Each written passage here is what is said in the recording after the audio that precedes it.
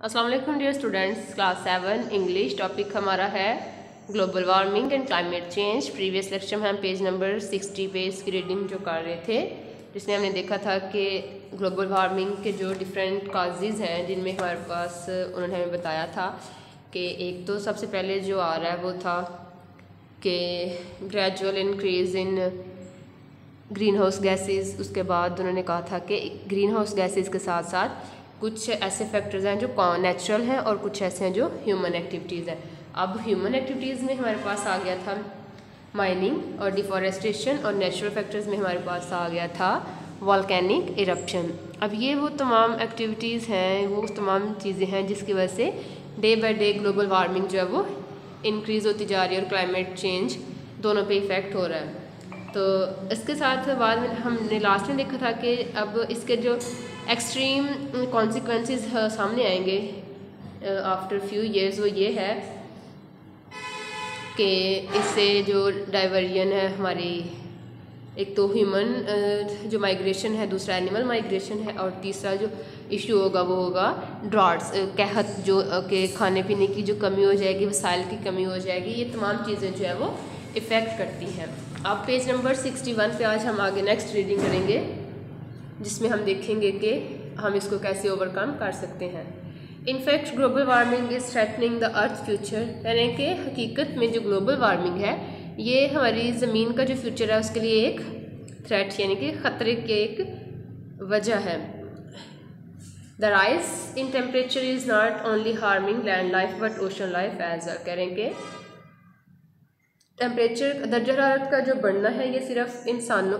इंसानी ज़िंदगी के लिए ही खतरनाक नहीं है, बल्कि समंदर के अंदर जो आबी में महलूक है, उनकी ज़िंदगी को भी इसे खतरा है।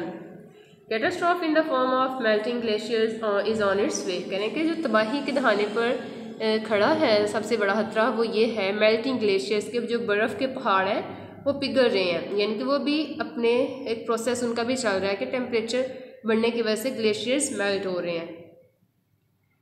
Due to this cause species living on poles will be extinct करें कि इस वजह से जो पोल्स जो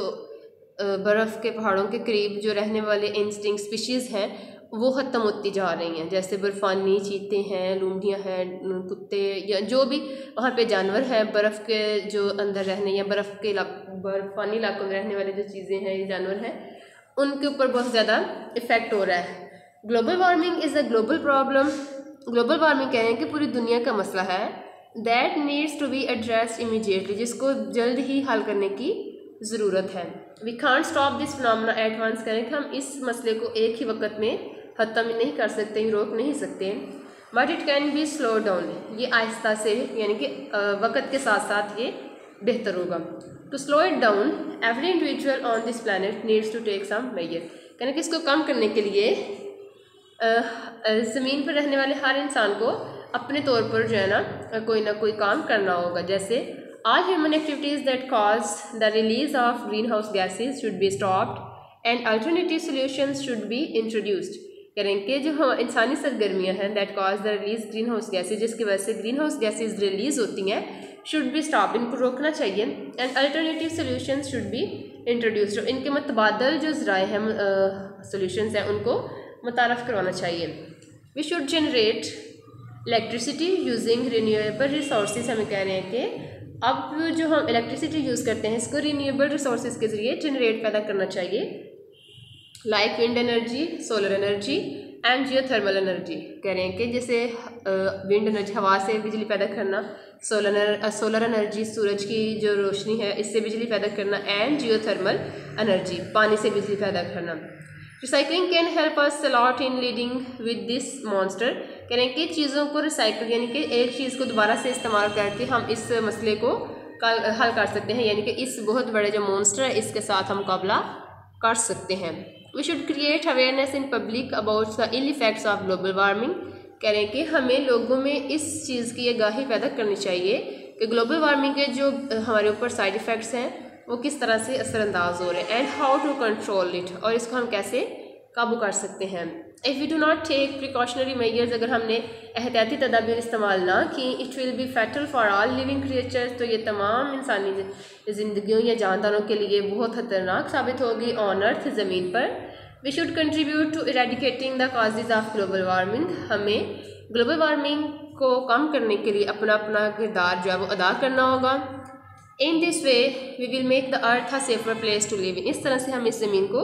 अपने रहने के काबिल बना सकते हैं। तो इस लेसन में हमने पढ़ा है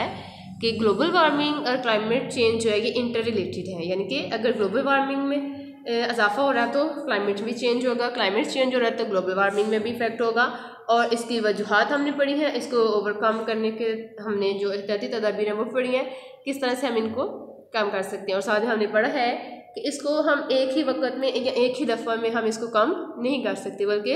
इसको कंट्रोल करने के, इसको कम करने के लिए हर बंदे को अपना लहदा से किरदार अदा करना है, ठीक। ठीक है पेज नंबर सिक्सटी वन पे टू थ्री पैराग्राफ्स हैं जिनके आपने घर में रीडिंग करनी है। ट्रांसलेशन जी, आज का आपका लेसन है। अल्लाह हाफिज़।